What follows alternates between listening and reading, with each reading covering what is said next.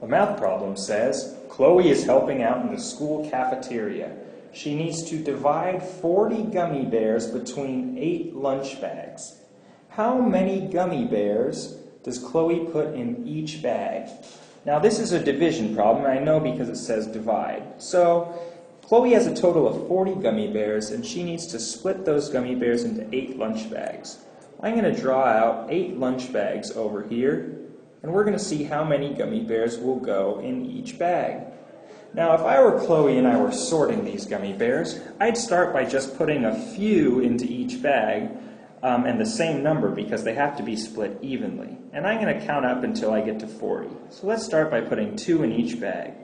Two, three, four, five, six, seven, eight, nine, ten, eleven, twelve, thirteen, fourteen, fifteen, sixteen. Okay, let's try two more. 17, 18, 19, 20, 21, 22, 23, 24, 25, 26, 27, 28, 29, 30, 31, 32. I think two more at this point would be too many, so let's just go with one more. We have 32 gummy bears divided so far 33, 34, 35, 36, 37, 38, 39, 40.